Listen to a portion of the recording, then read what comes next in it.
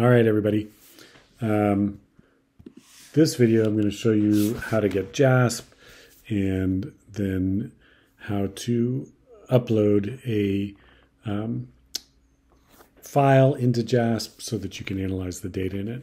And then I think I'll also, either in this video or the next video, show you how to enter data in a spreadsheet like Google Sheets or Excel um, for uh, Factorial ANOVA.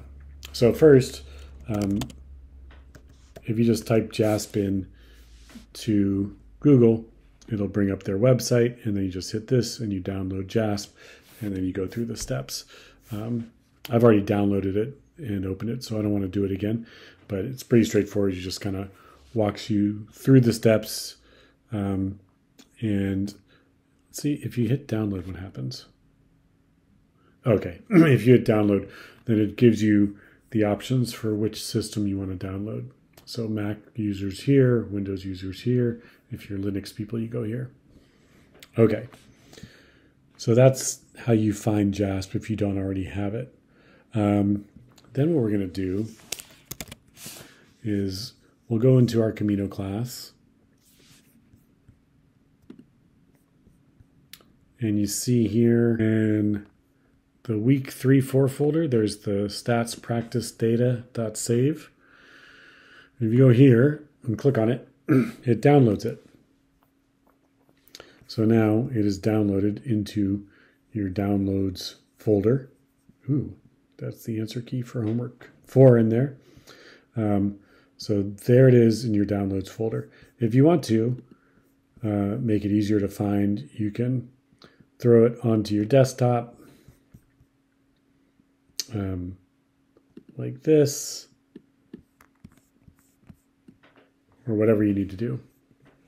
So just as long as you can find it. Okay, now we've got the data set. We've installed JASP. We're going to go to our applications and open up JASP.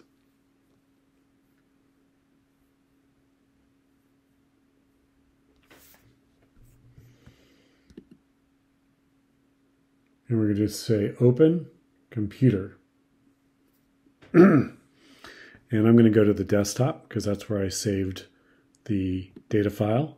I'm going to click on that. And it says, just like to access files on your desktop. I'm going to say, okay, go ahead.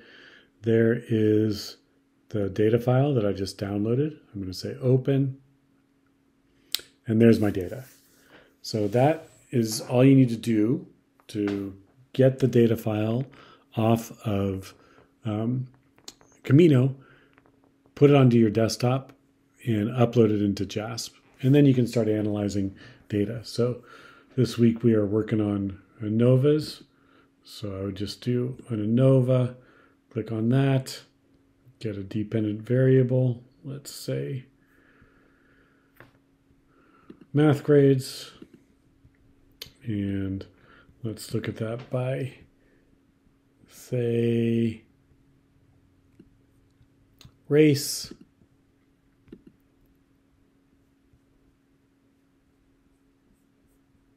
give me some descriptive statistics and it shows the means for each of the different groups in my study and the F and so on.